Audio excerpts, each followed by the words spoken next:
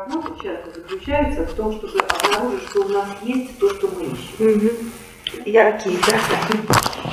Ну, может, да, потому что это такая механизированная какая-то система, ты окей, я окей, да, ты не окей, да, я нормально, у меня есть и то, и другое, и печаль, и грусть. Если Не, ну принятие вот этого как окей, печали, вот, ну, Да, как ну, поможет. Скажем так, живость, да, то есть слово окей, я говорю, оно очень американское, даже как сообщение «время – деньги», да, ну это правда, да, но с другой стороны слишком избыточно как-то структурирует и носит какой-то такой избыточный прагматизм, избыточный, да, вот, поэтому э, если мы обращаемся к телу, да, то важно обнаружить, и мы сейчас попробуем это делать, и я тогда сделаю такую небольшую демонстрационную сессию, обнаружить, каким образом мы можем подде- поддерживать себя, поддерживать клиента, как тело поддерживает себя, э, минуя вот такой вот, ну, скажем, нарциссический, терапевтический проект, вот сейчас придет ко мне мой клиент, и я с ним что-то сделаю. И не просто сделаю, а еще и обязан и должен что-то сделать. Да, и тогда э, возникает, ну, скажем так, такая потребность, ну, например, все знать, быть совершенным терапевтом, не делать ошибок, э, не следовать феноменологии, а э, следовать проекту, например, да, там, построению каких-то гипотез.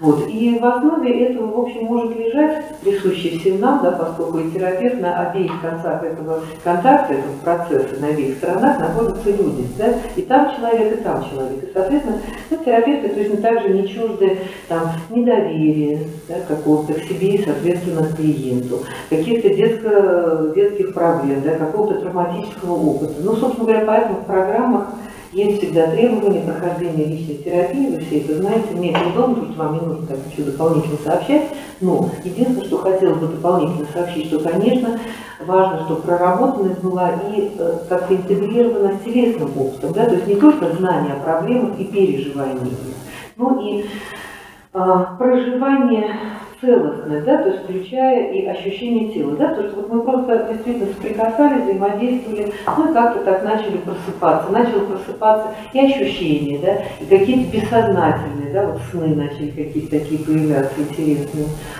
Вот, поэтому э, вот эта часть тоже очень важна, и если работать с телом, то, конечно, вы должны знать, иметь возможность осознавать себя, замечать себя, заботиться о себе, да, потому что это один из принципов. И поэтому вот э, то, что таким основным является, это доверять. Доверять собственному телесному процессу. И на этом доверии строить доверие к телесному процессу клиента. Потому что, в общем, все мы обладаем абсолютно такой совершенной системой. Нас это не удивляет, когда, ну вообще, да, вот организм это нечто... Кстати говоря, по поводу полноты, сейчас вот слово организм произнесла, так немножко в сторону, ремарку. Вот согласитесь, сказать толстый организм вообще невозможно. Да? Толстое тело можно, да, то есть тело это что-то чуть более социальное, да, телесность мы рассматриваем как некое такое социальное образование, социальное наложение на организменный план. Организм не может быть толстым, он просто организм, да, вот он такой, какой он есть. Вот. И э, в этом смысле действительно доверие к некоторому процессу, собственному организму, да, тоже важная часть работы терапевта, его подготовки к встрече с разными да, какими-то ситуациями, рабочими, жизненными, да, потому что, ну, если, скажем, вы работаете, ну, хорошо, чтобы вы для себя вы то же самое делали, да, то, что видите, то, что знаете, то, что умеете. Вот. И в этом смысле никого не удивляет, правда, что, например, если царапина на коже, да, то она заживает сама. Ну, по большей части. Конечно, если туда инфекцию засадить, конечно, придется как-то очень активно этим заниматься. Но в общем и целом, да, вот все же царапались, да, но какие-то все так достаточно целые. То есть как-то оно нарастает. И точно есть в теле, вот почему работа с телом и обращение к телу вообще так как бы антинарциссично, да, что в теле есть очень много чего, в нашем организме, даже Ковец сказала, есть много чего, что точно не подконтрольно и вообще не подвластно. Да? Там, ну, пищеварение, например, как ну, подвластно, если сильно покушать, да? то есть можно его загрузить очень активно. Но, в общем и целом, оно как-то само по себе существует. Сердце существует само по себе, да, хотя, конечно, можно переживаниями тоже всячески его избытком как-то нагружать. Но тем не менее, да, то есть в теле происходят процессы, которые, в общем, не надо контролировать. Да, хотя точно совершенно, опять же, да, если я сейчас немножко поговорю, но потом мы больше в основном э, будем как-то действовать. Э, посмотрите, да, что получается, что э, доверие к телу подрывается сразу. То есть как только ребенок про структуру, да, то действительно сразу начинается вноситься структура. Когда есть, когда спать, сколько спать. Да, ведь действительно же все регламентировано. И вот эта вся социальная структура, да, она регламентирует, привносит э, тот аспект, что доверие к собственному телу подрывается, к его импульсам, к его потребностям. Мы знаем, сколько надо спать. А если мы спим столько, сколько хотим, мы, ну, большая часть, наверное, и вас тоже, начинает испытывать чувство вины, например, да, что-то вот как-то так долго уже. То есть если после до 9 еще ничего, а вот если до часу, то уже все. Да? Вот. Есть то же самое. Организм уже говорит, он уже он просто ничего уже не чувствует, а туда в него вот как бы, ну, потому что всегда учили, что надо доедать до конца. Вот сегодня я слышала три истории на эту тему буквально. То есть буквально, да, что надо до конца доесть то, что уже куплено. Почему? Кто сказал? Да ни одно животное никогда не станет доедать до конца. Или впрок. Нет, они впрок наедаются, но зато потом после этого там где-то перевариваются с кустом очень успешно. Да? И, в общем, как не переживать на тем, то, что они теперь валяются. Ну или потребность отдыхать, например. Да? Про еду, кстати, согласитесь, это даже не самая э, такая серьезная потребность, хотя переедание, да, там, если уж очень круто, там, ну, сначала эстетические как-то начинает мешать, потом начинает как-то там уже физически мешает, да, там типа одышка, тяжелый вес, а потом начинают уже болезни появляться, да, то что организм перестает справляться с этим способом, как каким-то образом себя утешать. Вот. И э, точно совершенно есть сигнал, который говорит, уже ничего не чувствуешь. Да? Ну, голода нет, например, или вкусовых ощущений даже нет. Да это вот первый эксперимент Берса, вы помните, да, там по пережевыванию, вот Костя Королев, известный вам такой персонаж, mm-hmm. да? Вот он рассказывал, он правда он похудел, я не знаю, сделал ли он это на самом деле, но похудел, правда. Он просто экспериментировал сам, ему было интересно, потому что мы все прочитали и отставили, да, например. Ну, человек взял и поэкспериментировал и стал всего-навсего просто пережевывать тщательно пищу. Вот, да, помогает? Ну, точно не Ой, ну, это очень тяжело, конечно. Тебе же нужно было быстро поесть в течение там какого-то времени. После этого эксперимента, одну секунду, просто это очень такое. Один день я так попробовала, мне ночью снится сон, что папа мне жарит мясо вот такими кусками, и я ем, ем, ем, и потом уже не могу, потом какие-то лепешки. Я думаю, зачем же я столько съела, я обожралась. Но это был папа, и он, они такие были аппетитные, и он мне говорю, пихал. Вот, так что вообще прям такой красивый. Но очень устает челюсть. Невозможно. Может, конечно, если вот такие вкусные пирожки, то челюсть... Нет, даже маленькие. Там же он до каши прям рекомендует. То есть вот пока вообще в кашу не превратится.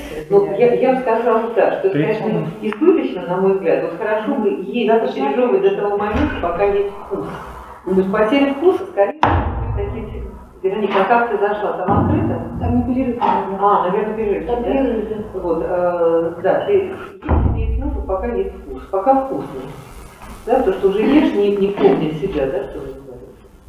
Ну вот, собственно, я это к чему говорю, что, конечно, тело нам всячески не только сигналы подает, но и умеет справляться. Да? То есть, конечно, если уже зашкаливает и контроль отключен, но в силу избыточной тревоги, да, то есть, наконец, уже настолько стало тревожно, что мозги отключились, да, и тогда вот начинаешь там как-то бегать, суетиться или дышать как там типа.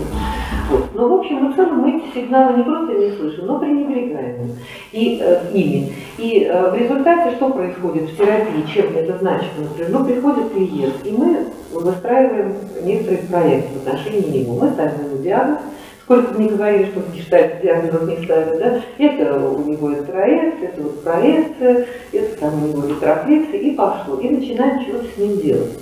Вот более того, мы же должны делать, потому что если мы не делаем, то вроде как бы не терапевт. Да? Ну и клиент тоже. Что вот вы со мной будете делать сейчас? Вот. Ну и все. Да? А я вам буду платить. Поэтому то, что связано с телом, точно важно обнаружить один аспект, и сейчас мы это попробуем сделать, который связан с тем, что в теле есть э, тот процесс, который называется саморегуляцией. Название мы все это знаем. Да, но обнаружить, как это происходит, в общем, ну не знаю, может быть, вам представлялась возможность это обнаруживать, да, но если нет, то мы сейчас это попробуем. И э, делать это с помощью, э, можно методики, техники, которые называются прослеживание ощущений и поддержание позитивных ощущений. То есть поддержание тех знаков, которые, э, которыми ресурсные, позитивные состояния хорошие, да, то есть там вот другая часть, которая есть, как себя проявляет. Потому что всегда есть и то, и другое.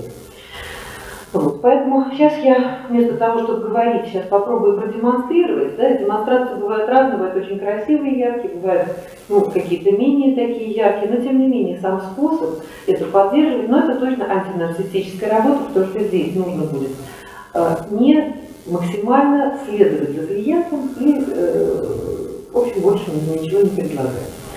Вот, поэтому мы как можем попробовать? Либо просто кто-то выйдет, либо кто-то выйдет, у кого есть какая-то телесная, вот какой-то телесный дискомфорт, боль, напряжение. Что такое ты хочешь? Нет, не против. Не знаю, есть ли против? Если кому-то остро актуально, то я могу так. Есть люди, которые пишут звук.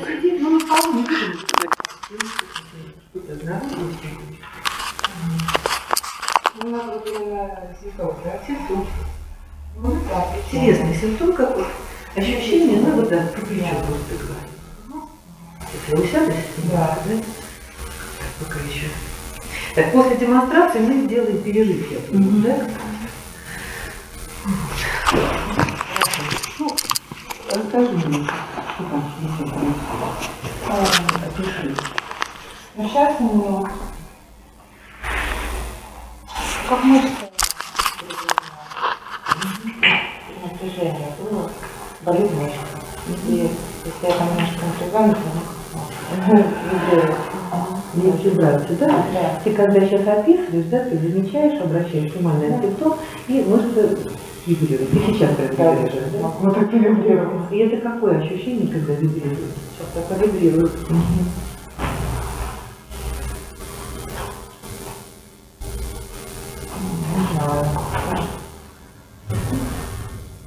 В принципе, он даже приятный.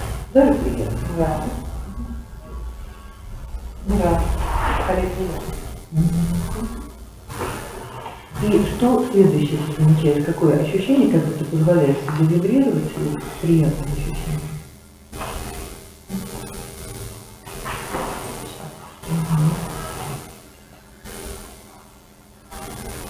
Ну, как-то одновременно и странно, но не могу подобрать слово.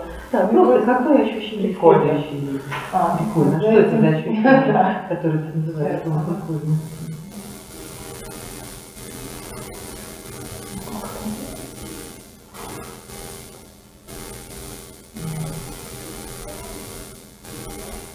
Ну, энергия, что ли, ну, не знаю как. Энергия. Да. Ощущение энергии. И где это ощущение сейчас? В руке. Где больше? Как-то напрягает вот, а почему-то дрожит сильно руки. Энергия. Ну, вот, да. И это какое ощущение? Ты чувствуешь энергию в кисти. Как-то. Просто какой? Приятный, неприятный, нейтральный.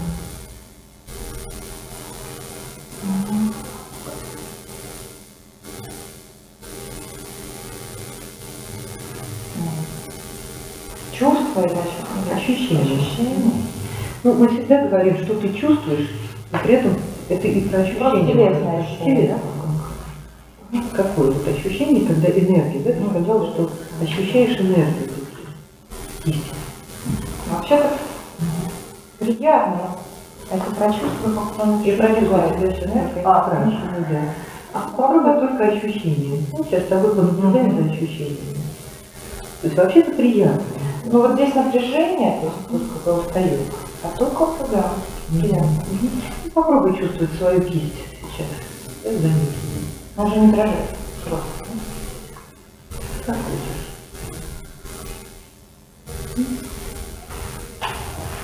Какая она? Какое ощущение в кисти?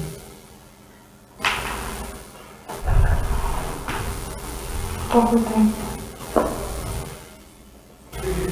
ощущение. Ух, да. Я прочувствую. Ну да. Какой ты чувствуешь сейчас свою кисть? Ты смотришь, да, я вижу, ты делаешь какие-то движения. Делаю, да. Да. Сейчас как-то расслабляю. Угу. Когда расслабляешь, это ощущение какое? Приятное или неприятное? Да, Это приятное ощущение, да?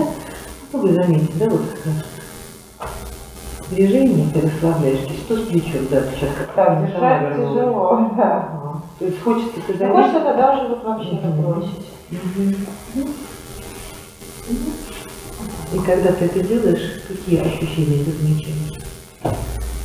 Расслабляю, расслабляешь.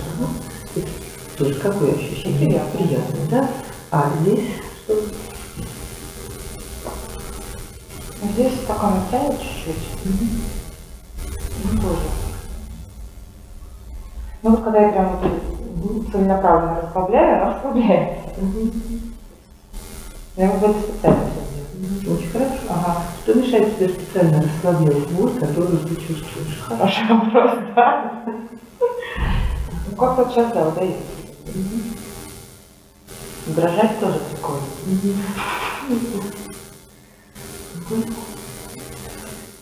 Хорошо. Как сейчас рука? Лучше. Ну, то есть, ну, почти не болит.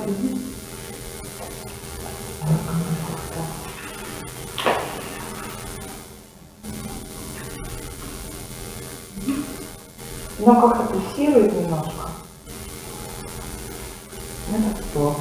Пульсирует. Это приятное ощущение? Да, тоже как бы Это тоже приятное ощущение. ладошки. Хорошо. Остановимся? Да, да, можно, да? Хорошо, спасибо.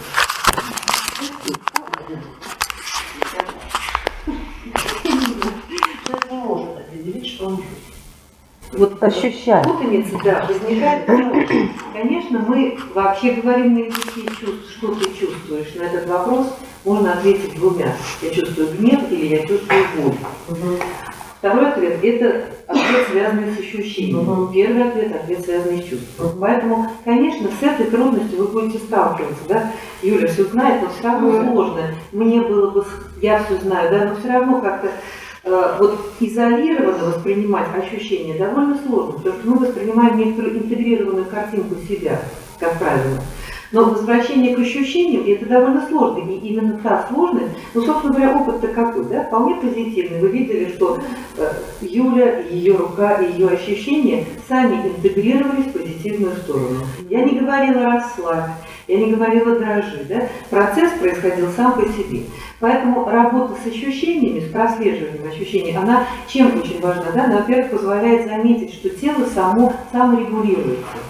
Если ему позволить, если просто следовать за ним, да, потому что если мы следуем своим вниманием за этим процессом, то интеграция и разрядка произошли сами по себе. Что такое боль? Да? Это избыток напряжения, удерживание, не буду сейчас фантазировать, да, потому что можно двигаться дальше, мы будем дальше делать, потому что это только часть работы, да, такой изолированный, но на самом деле самый сложный кусочек, потому что обратиться к ощущениям сложно. Да, это удержание чего-то в отношениях, какого-то жеста, там, любого, да, не буду фантазировать. И, собственно говоря, если просто следовать за этим ощущением, заметить его, да, тело начало интегрироваться. Причем тем самым способом, которым я вчера говорила о животных. То есть начала, началось дрожание, как лань, да, которую там тигр Мгм. оставила, началось дрожание, пошла разрядка, появилось тепло, приятные ощущения, да, и, в общем, сам симптом. Что мы для этого делали? Ничего. Удерживаем внимание и просто что следующее происходит. А само следующее всегда происходит, как правило, вот всеми травмами мы будем об этом подробно говорить, тело саморегулируется. Да, если ему позволить, то оно отдает избыток, начинает отдавать избыток напряжения, соответственно, снижается боль и разряжает да, через периферию, да, потому что плечо это более центральное положение, чем кисть. Да, поэтому очень хорошо, что энергия пошла в кисть, кисть подрожала, почувствовала себя сильной, появилось позитивное переживание, про переживание ничего не спрашивала. Вообще-то довольно приятно ощущать свою силу, свою силу, свое тепло. Вот. И часть энергии разрядилась. Понятное дело, что это только кусочек процесса. Вот, поэтому, конечно, важно, да, и объяснять немножко, и удерживать именно в зоне ощущений, да, потому что, ну, это, но экспериментально, да, то есть если мы делаем это как упражнение или как работу с ощущениями, Более того, очень иногда важно выдерживать это обращение к чувствам, потому что чувства очень сильные, да, и это интегрированные переживания, которые как раз сложно пережить, да, сложно, сложно что-то с ним сделать, да, его сложно там разрядить или реализовать. А ощущения это как кирпичики, да, из которых эти чувства складываются. И вы, эти кирпичики есть и неприятные, есть и позитивные, да, и мы поддерживаем вот эту вот позитивную часть а не ту, которую мы привыкли воспринимать как проблему. Поэтому это просто работа, техника, работа с ощущением. Еще есть вопросы? У меня есть. Да, конечно. Ну, для меня это вообще новость. И оставаться в ощущениях. Потому что же всегда э, дальше там вроде как надо было осознать, какое чувство еще за этим движением да. или за этим Конечно, да. Но тогда это целостная работа. я сразу же включаю. Конечно, конечно, да. То есть ты просто знаешь, ты следуешь проекту. Да, что нужно осознавать. Да? Вот. Но Посмотрите, да, вообще и в телесной терапии, и вообще, на мой взгляд, других видов терапии. Просто я сейчас не помню, есть ли такой принцип ясно сформулирован, но не так расскажу. Прежде чем преодолевать реки, нужно наводить переправы. Да? Прежде чем э, э активизировать чувства, нужно создать безопасные условия для его проживания. Подготовительный шаг. Конечно, это работа с фоном. Вообще работа с телом и с ощущениями, в частности, это всегда работа с фоном. Собственно говоря, вы помните, вообще-то это точно вот как присутствует, и я думаю, что вы слышали это много раз, что если вот этот, э, э, эта ситуация при контакте не пройдена достаточно полноценно, то либо фигуры неясные, либо не те фигуры, либо э, да, там адрес, да, вот, либо чувство какое-то замещающее может проявиться как фигура.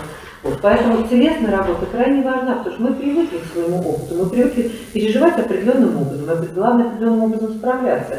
Ну, про в следующий раз немножко подробнее. Да? Почему называется структура мышечного панциря? Потому что, надевший на себя этот мышечный панцирь, мы адекватно надевая когда-то его, там ребенок успешно защищался от того, чтобы родители его не любили, осуждали, ругали, например, когда он кричит вопит, он блокирует диафрагму и перестает орать. Очень хорошо. Мама успокоилась, потому что ей тревожно, папа еще не пришел. А бабушка тоже почему-то сегодня в загуле каком-то, и вообще никто не подскажет, и жуткая тревога совершенно. Вот. И тогда хорошо, да, потому что в этой системе эта регуляция сработала успешно. Но когда этот способ становится панцирным, то есть привычным, да, тогда невозможно в другой ситуации, когда на тебя нападает, например, крикнуть «пошел вон» громким страшным голосом, хотя, может быть, маленькая субтильная женщина, вы помните принцип бабочки с глазками, да? Громкий голос – это тоже некоторый сигнал сильного опасного существа, но если дыхание заблокировано диафрагма заблокирована, невозможно. И, например, хочется сказать так, чтобы тебя услышали, а дыхание где-то здесь, вообще-то я там не хочу идти.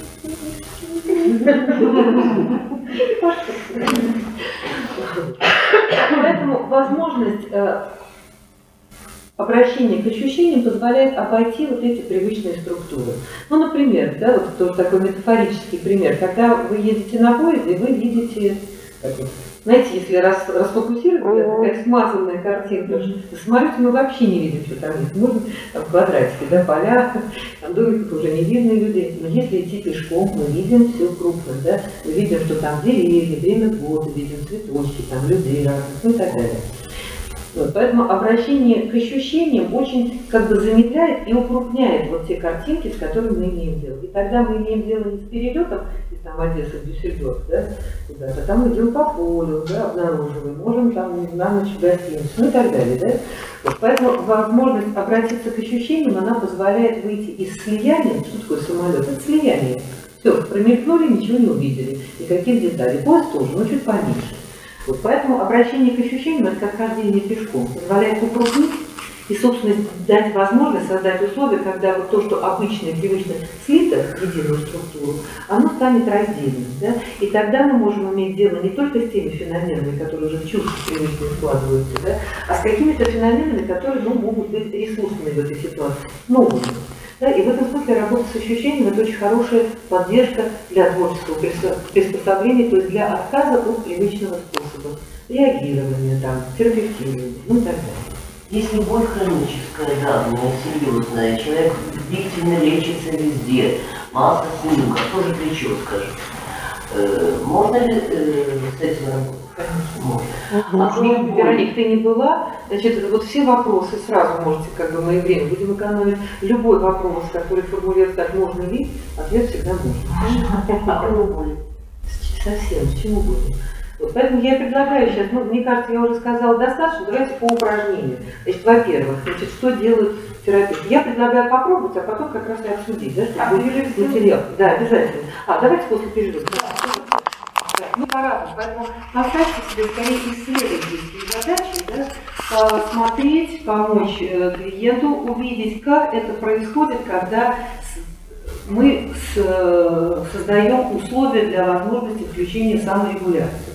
И создаем условия тем, что ничего не предлагаем, ничего не интерпретируем, ничего не навязываем, а просто следуем. Да? Это, собственно говоря, является как раз вот этой учебной задачей и для терапевтов, и для клиента удерживаться в этом поле исследования. Да? То есть исследование фона, что есть в фоне, какие ощущения. Чем ограничиваемся се- сегодня в этот раз только одними ощущениями. Ну, во-первых, потому что это самое сложное, самое незнакомое, мы их, в общем, не знаем, не помним, мы уже знаем, чего мы чувствуем. А из чего это все сложилось, в общем, не очень ясно, да? Вот. Значит, терапевт удерживает каким образом клиента в этом исследовании, да? Называются чувства, а какие ощущения тебе подсказывают, что ты испытываешь это чувство? Да? То есть меня просто спрашиваешь, чувства или ощущения, да? Поэтому тут легко было сказать ощущения все-таки. Но если вам чувства какие-то говорят, да, какие ощущения подсказывают, а что ты замечаешь на уровне ощущений, да? То есть вот все равно обращается вот именно к этому э, уровню, да? Вот. И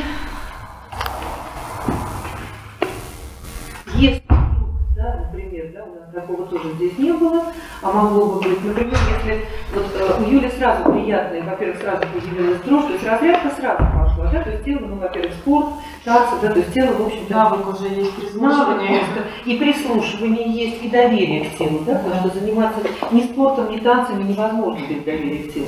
Поэтому стоило просто остановить процесс, да, который здесь, а что, а как, как тело, в общем, правда, начало разряжаться и, в общем, делать что-то, вот, э, чтобы эта разрядка происходила, и, в общем, э, как бы ресурс, да, был обнаружен. Но если этого не происходит, например, говорят, больно, больно, еще больнее, а вот теперь здесь боль, а вот теперь здесь боль, спрашиваете, а что противоположно, а есть ли что-то приятное? То есть вам не нужно просто вот идти. Задача поддержать позитивные ощущения, их обнаружить. Поэтому если упрямое тело, а это нормально, потому что в теле упрямство точно так же сопротивление животным света, вам все время вот выдает это плохо, плохо. Вот, вы спрашиваете, а есть ли что-то противоположное, что приятно, есть ли какие-то приятные ощущения? Все про ощущения. Все пойдет.